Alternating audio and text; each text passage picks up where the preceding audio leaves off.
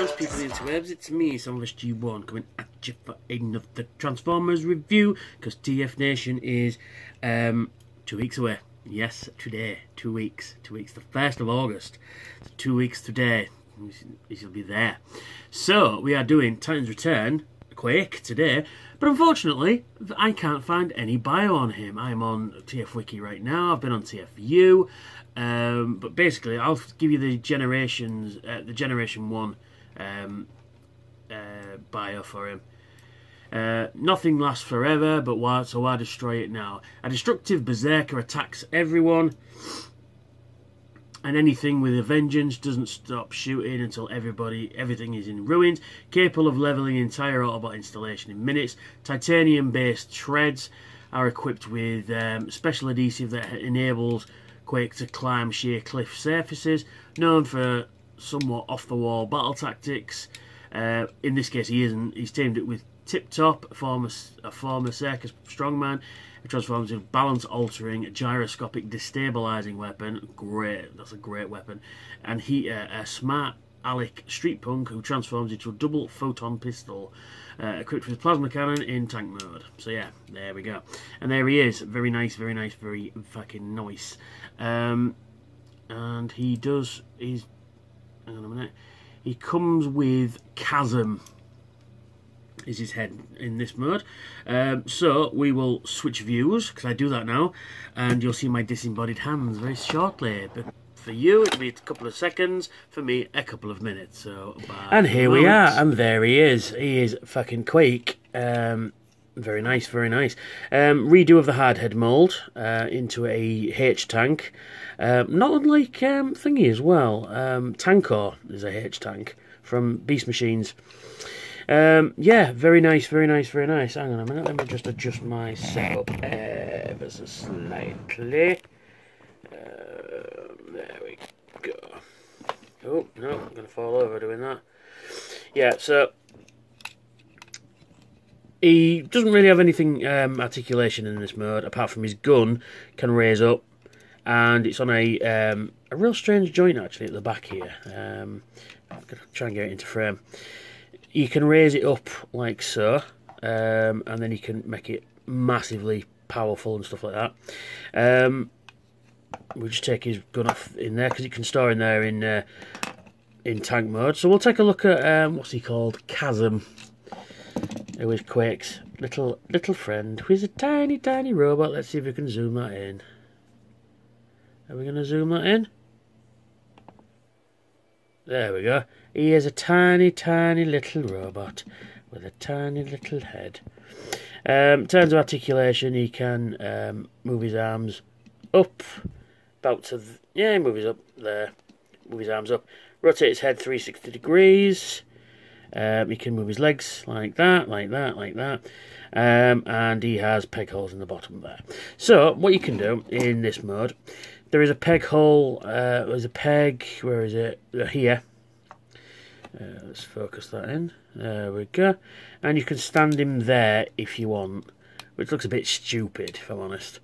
Um, but you can, what you can do is, let's take this gun off because it'll be easier to do. So he gets this really nice big gun, you can open it up like that, and he can sit inside it, you see. Like so. So you, wait a minute, so you put his little arms out like uh, that, and then you can sit him inside his little, well, in the big gun, like all these Titans Returns can. So you can sit in that gun, my phone, and then you can put that gun on there like that. And then you can have him and then put this back on here like that. And you can have him manning this huge fuck off cannon if you so want to. Um, why won't you sit straight oh because I've mistransformed it that's right there we are. And he sits straight and he does have he does have um, some wheels on the bottom. He's got these blue wheels um, got some blue wheels here and up here so you can you can roll reasonably well, I would think, reasonably well. So, to transform him, so basically just take off this uh, gun stick and stuff there. So move that over there. Um, so basically, what we're doing is we flip him over, we flip that back up like that. Then it's just a case of just sort of, dis, you know, um, dislodging things, just uh, moving them out of the way. So in here, you can see his legs are connected on this post here. So this fit on like that, so it fits in there very nicely, and they just slide off like that. And then you move his legs down, and they just sort of slide into place thus. And then you can pull out his little feety there. Same for this side, do the same thing, pull out his little feet. And there you go, we have some legs and a torso. Then we basically just separate everything there, move it all around like all that and I really need to bring this back, don't I? There we are. Um, so we then disconnect those, and these will obviously become his arms, and then you pull out his, his fists, like that. Come on now, Hasbro. We need just, you know, a panel to cover that gap up there.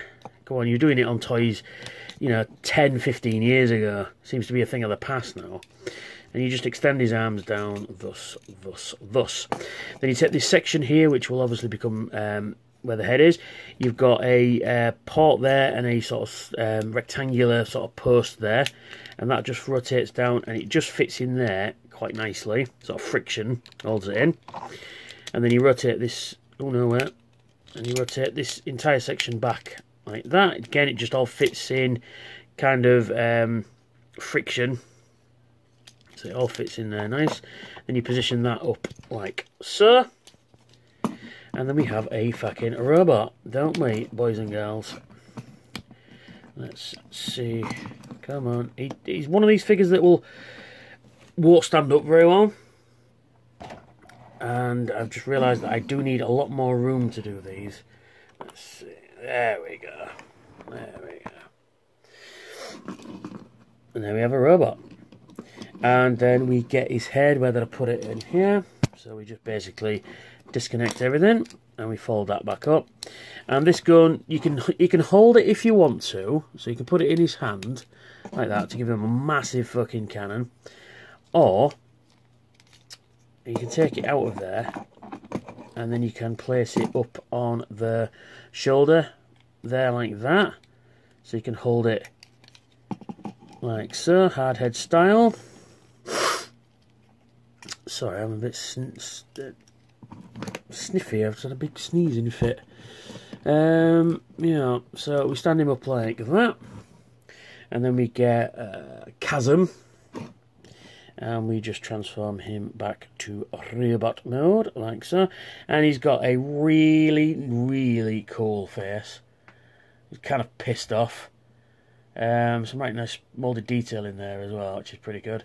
And standard Titans Return, Dealey. He just clips into that little port there, thus. So he's got to get it on like that till it clicks.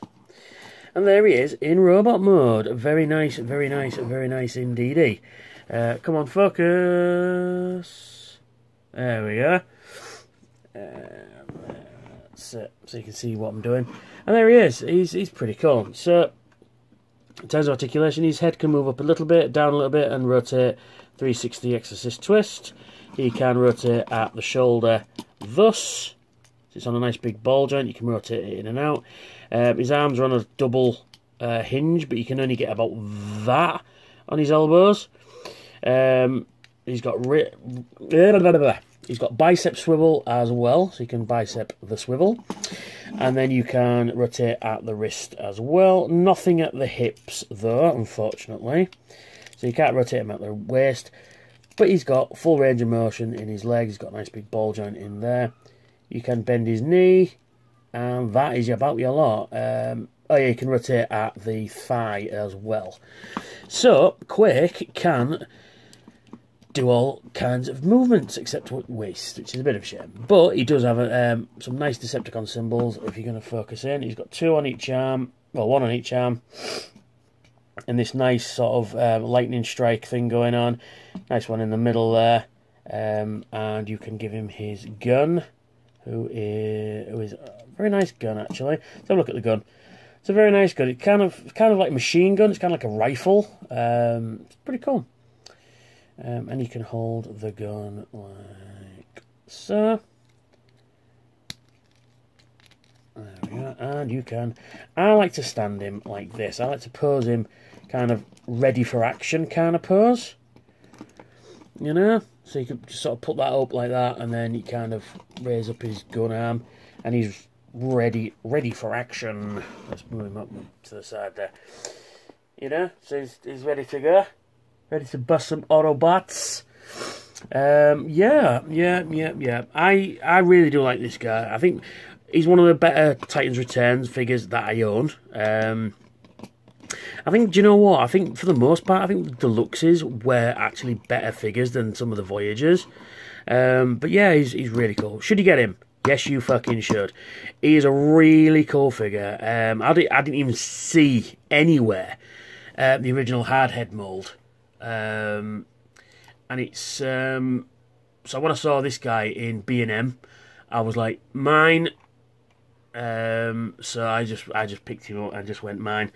Um, but he's really cool, really really cool, really cool. So thanks for watching and um, watching me prattle on. Um, we have um, my Patreon, which will be up here. Uh, please check out my Patreon. There are some cool rewards over there. Um, and um, keeps the likes on at, at Shays Thrust. Check out my other Transformers reviews, which will be here.